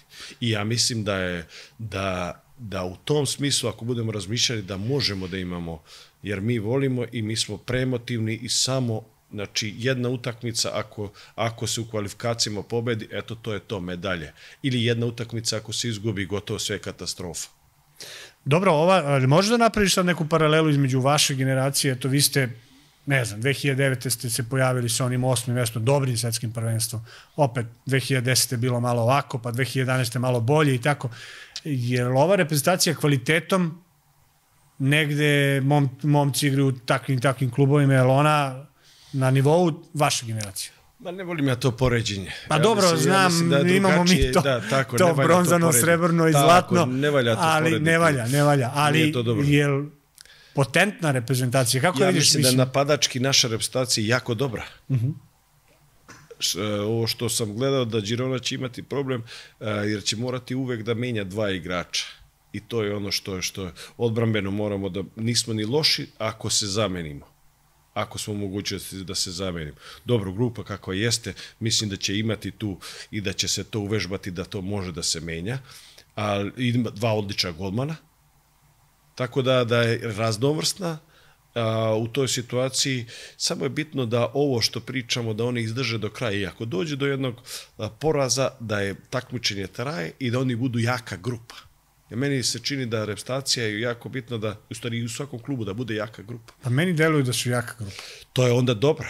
Ja, ja sam razgovarao sa, sa igračima da su svi srećni, da svi e, žele da idu za, da igraju za reprezentaciju, što ranije, vraćam se, nije bio slučaj, imalo je dosta problema u tom, tom početku samo Srbije, Srbije kad smo nastali i kad smo se odvojili i sve to, ovaj, tako da sad svi žele da igraju za reprezentaciju, normalno sad kvalitet treba doći, treba vreme za te momke i treba dosta raditi. Grupa Nemačka, Katar, Alžir, ukrštanje sa Norvežanima, da. Holandjanima, Argentincima, Makedoncima. A, je li realno videti Srbiju tu blizu četvrtfinala? Nemačka sa Gislasom. Postavljamo sad u ovoj situaciji pritisak kada im dajemo četvrtfinale, verovatno da... Pa mislim, da evo realno, na ono, papiri. Da, kažemo, da, evo... Ja mislim aha. da, da sa Srbijom će se znati u prva dva kola dokle može da prođe. To tako ide kod nas. tako ide kod nas. i ako euforija krene napred da, da ovaj da pobeđujemo utakmice, da to može da, da, da idemo daleko. To što kažeš četvrfinale. E sad, sve zavisi kako bude. Isto zdravstveni bilten, to je jako bitno da su svi zdravi. Jer je, nemamo, nemamo kadar toliki da možemo da istrpimo neke povrede, to što to se pokazalo i na, na evropskom prvenstvu, gde su Hrvati imali zbog korone, ne znam koji fond igrača, Srbija to nema i to ne može da, da priušti sebi, nažalost, ali mislim da, da ima kvalitet i da treba ih podržati. Da, nadamo se da će Dejan Milosavljev rešiti problem, propustio dva zadnje evropska prvenstva, će rešiti, rešiti problem i biti spreman za početak za početak turnira, to je bio veliki, veliki peh s obzirom o kakvom se kvalitetu radi. Kako vidiš razvoj Kukića, Đorđića? Odlično. Odlično. Mislim da... da je te Kukić iznenadio kako, kako, se, u kako se igrač radi? Jeste, da jako, jako dobro, on je još kod Čeme dosta dobro, dosta napredovao. Uh, imao je tu brzinu kao što ima i, i sad im to ništa, ali igrački razmišljanje rukometno jako je dosta promenio u odnosu na ranije i to je ono što me raduje kod njega. Uh, isto je uh, Petar shvatio šta je njegov posao, tako da uz Kukića je dosta golovo dao i to je ono što je bitno, bitno za nas leve bekove.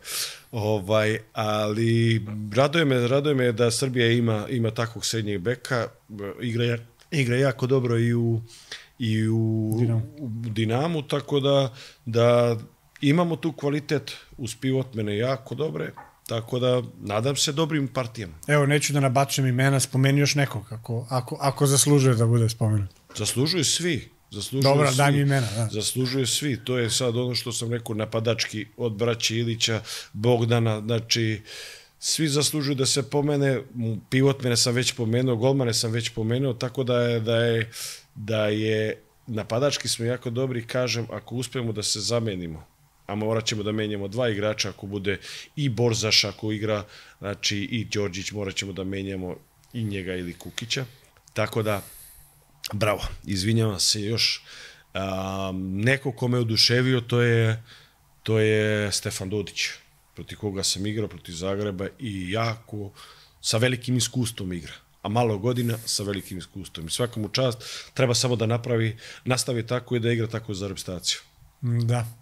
Dobro, Ilija Butović, komandant. Je, komandant, a, njegov posao se zna, on će to da uradi pošteno, odgovorno i, i da pomogne momcima, treba njih da veže sa njegovim iskustvom, da drži tu grupu, iako nije kapiten, on je taj koji treba to da radi. A, i ja mislim da će, da će pod njegovom palicom, da tako kažem, da grupa bude zajedno, što je najbitnije ako želimo da pobeđujemo utakmice. Dobro, kako vidiš e, reprezentaciju iz regiona Hrvatska u jednom, ajde, momentu već u dva, tri takmičenja bez medalje, to je kod njih alarm, još su se navikli na nešto drugačije. A, bio mi je Vuja tu, pričao o tome da je Hrvatska u problemu, da posle Duvnjaka će biti problema sa tranzicijom, mislim sa održanjem tih rezultata. Kako ti vidiš Hrvatsku? Ja mislim da nije u problemu. Dobro, Dule je tu godinama i on je stvarno neko ko, ko drži liderski, ali opet kad nekog nema mora da se neko nađe drugi. Možda će da bude, šta kažemo, problem. Možda godinu dana. Već sad imaju problem i sa Duletom. A, da kažeš problem, tu je neko ko treba da preuzme to vojstvo, to je Cindri definitivno. Međutim, oni na tim pozicijama imaju i Šarca, imaju i, i Karačića na srednjem beku, na levom beku dobro, sad se povredio Jaganjac. Lučin. A Srna koji igra jako dobro u, u Zagrebu, to je znači Lučin isto tako. Znači imaju oni veliki fond igrača, Martinović, ne znam koga će, ko će sve, ovaj, imaju veliki broj igrača eh, Hrvatska, tako da ja za njih ne brinem Oni će sigurno doći do samog kraja, što se tiče svetskog prvenstva. Što se tiče ostalih, ostalih Crna Gora tu koja je jako dobra, Makedonija standardna i oni imaju tu, tu negde ovaj svoju šansu. To je to. Slovenija u jednom padu, ajde nisu uspeli da se plasiraju, mi smo ih dobili u baražu, izabrali su Zormana, negde izabrali su najveće ime svog rukometa da ih trgne, da ih probudi kao ne znam, što je Vuja uradio tamo od neke 2016. pa je brzo došli do rezultata, a i mislim da je ovo sa Zormanom neka vrsta, dobro, i uh, prirodan onako sled, prirodno rešenje, ali i ja čini mi se ako neko uspe da ih trgne, ako neko uspe, to će uspeti im Uroš Zorman. Šta, kako ti? Definitivno i to je ono što posle, posle Ljube i Vuje koje je bio tu a, realno je da bude neko iz Slovenije. Ono što su radili, dali su, dali su a, trenersku poziciju, selektorsku poziciju Zormanu koji je dugo godina legenda a, slovenačkog rukometa, svetskog, evropskog a, rukometa i koji zaslužuje tu poziciju. Radi jako dobro, je jako dobro i normalno kroz sve te stvari treba ga malo istrpeti jer to su početci i ja definitivno mislim da on ima trenerskog znanja, kvaliteta, normalno kroz neko iskustvo koje će doći iz godina. Dobro, e, da su svi ovi bolidi Formule 1, sve ove reprezentacija, Francuska, Danska, Švedska, u koji bi seo da voziš? Nemoj diplomatsko rešenje. Ne, ne, či, ne, či, definitivno. Či, šta ti se najviše sviđa? Koja ti je selekcija tu? Ovako ću ja da odgovorim. Ja prvo nisam spreman za selektorsku poziciju. Dobro, ali ovako pričamo realno bi to bilo i logično da uzmem svoju reprezentaciju. Ne, ne, ne, jasno je meni to. Ne, to, je to, definitivno, to će biti pitanje. To je, to je definitivno i to će se jednog dana i desiti, sigurno. Ovaj, za sad nisam spreman za to i ja tako i kažem, volim da kažem ono što jeste.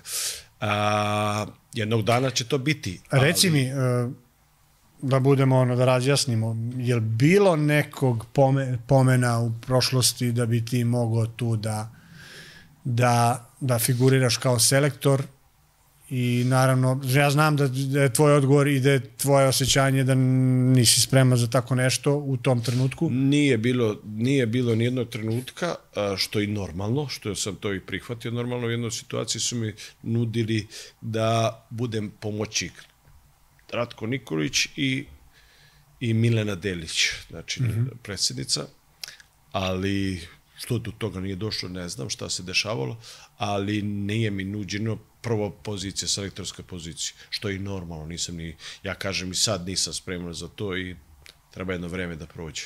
Dobro, kad razmišljaš, razmišljaš o Srbiji, razmišljaš i o drugim reprezentacijama ili, mislim, razmišljaš uopšte o selektorskom ne raz... jer je to van, van... Ne, to, ali stvarno ne razmišljam o tome. Ne razmišljaš. To imam negde zacrtan svoj cilj i to je definitivno, ali sad razmišljam samo o Vespremu, razmišljam o sebi kako mogu da budem bolji, to su neke stvari, šta mogu sa Vespremom najbolje da uradim što je moguće i to je to. Dobro, dobro, koja je najbolja reprezentacija po tebi?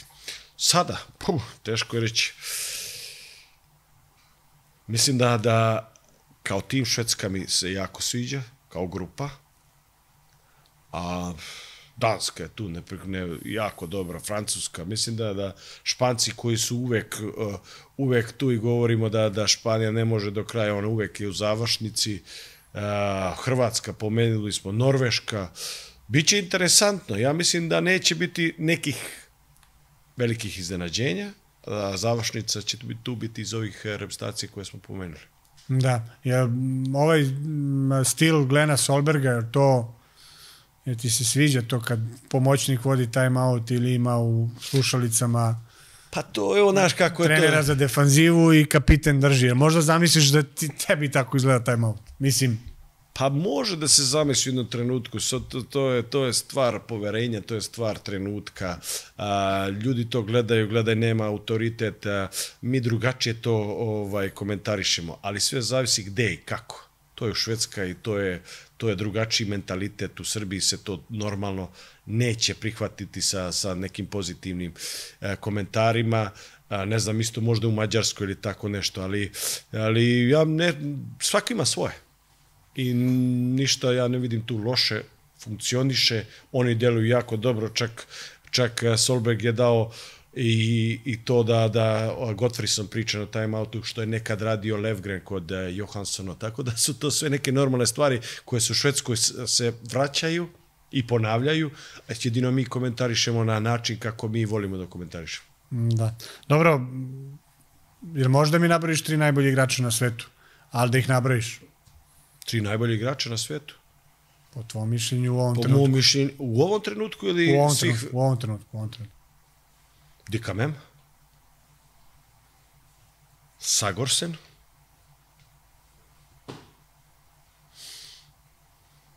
Dikamem, Sagorsen, pa ja bih rekao Landin. Mm -hmm. To je to. To su tri igrača. A najbolji, igra, a najbolji igrač sa kojim si igrao? Uf, jako velika lista. ne, ne, teo se te pitam o Meje i Šterbik, ono, večno pitanje. Večno Znam pitanje da mi nećeš odgovoriti, da, da, ali Pa ja sam to, ja ne znam, da, ja sam kako- to jednom kako i govorio, ja, ja sam to jednom i govorio, znači da, da definitivno ne možeš tako da okarakteristiš. Ja bih možda rekao da je Umer u jednom trenutku, zato što je imao veliki broj utakmica i, i stvarno fizički je bio neverovatno spreman. Znači radio je to Bundesliga, a, reprezentacija, sve živo žele da osvaja, dok je Arpi drugačija ličnost i on je neko ko, ko je svojim talentom dosta toga napravio, naravno i radom, ali i talentom, a, a ti, ti je dosta toga radom. I na kraju je došao taj, taj mali deo, to je talent. Tako da su dva različite igrače i to je e, dva različita golmana i to je ovaj, e, možda nije dobro zahvalno pitanje da ti odgovori na to. Ko je bio najbolji?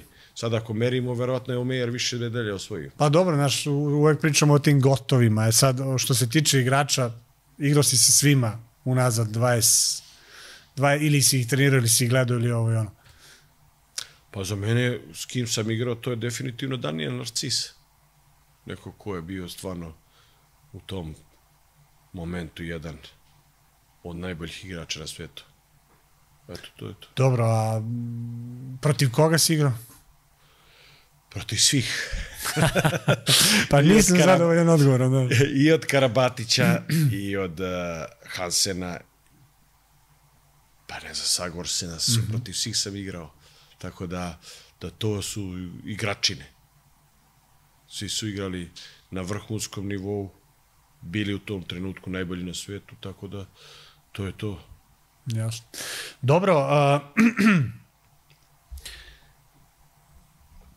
znam da živiš u sadašnjem trenutku, ali evo, za pet godina Momir Ilić. Gde, šta, kako, s čim? Pa za pet godina to je nešto što nastavit ću ovaj posao da, se, da radim. Vidjet ću gde, šta, kako. Kažu da trener ne treba da se zadržava dugo u jednom klubu, pogotovo kad si mlad, trebaš da tražiš druge motivacije. Mislim, šta, šta bi ti bio izazov? To Bundesliga, to Pa reprezentacija? definitivno šta? Bundesliga da i normalno da da reprezentacija svakako, reprezentacija svakako, ali ovaj definitivno neki novi izazovi neke nove sredine gde ja gde ja mogu da se dokažem, pokažem i to je to. Sigurno da da i nije realno da ostanem u Vespremu ne znam koliko godina, ali isto tako želeo bi da napravim sa Vespremom i taj dobar rezultat, možda i najbolji istorijski i da se tad da tad pro, pro, a, prona, pronađem neki drugi put. I jednog dana na klupi Srbije. U To definitivno, ja sam to rekao, to je moja želja i sigurno se da će to jednog dana biti. Puno igrača tvoje generacije krenulo trenerskim putem. Baš, baš dosta. Jeste. I, I, baš dobro rade. I jako dobro rade. Doska radi u celju jako dobro. Uh, ajde da kažem Deni, Deni u Tuluzu, nikad ima ambicije da, da bude isto trener. Ja mislim da je već od, od leta će da krene tim putem, tako da, da je to nešto što raduje i za srpski rukomet, pre svega. A, mi smo krenuli da svoju a, trenersku karijeru gradimo iz inostranstva. Tako jeste, možda kroz, i to, to je neki put koji, koji je tako moralo da se desi. Pa u Srbiji redko gde bi imali priliku da profesionalno, na profesionalan način to radite. Tako je moralo da se desi, što i nije loše možda da u, u tom trenutku i da kasnije možemo da, da pomognemo i trenerima i igračima iz Srbije. Znaš u kakvom je negde stanju srpski rukomet, pratiš procese, znaš koliko smo svetlosnim godinama daleko od Lige šampiona, u muškoj i u ženskoj konkurenciji, bar nije realno da se desi u narednih 3, 5, nemam pojma ni ja. E, reprezentacije su tu, ajde, muška reprezentacija se jedno uzlaznoj putanji, to lepo izgleda, ženska se traži posle smene generacije, to će biti dosta problema. Kakva je tvoja poruka ljudima u Srbiji, kako da opstanu, kako da zadrže uh, želju da, da, da rade u rukometu, da, da svedoci smo da smo imali prekid lige mlađih kategorija u Vojvodini zato što jednostavno trenerima je ne, ne vide svrhu da edukacije i tako dalje i tako dalje, a ljudi su u problemu jer ne žive od toga, ne mogu da žive. Kako ti poruku možeš, mislim, šta, šta reći, kako ih obodriti? Ma definitivno da ljudi koji u Srbiji rade imaju neki kvalitet. Ne neki, nego imaju kvalitet i ta deca dolaze iz, iz nekih klubova koji su, koji su posvetili pažnju toj deci, rad na tome i sigurno da, da u Srbiji je problem dosta financije.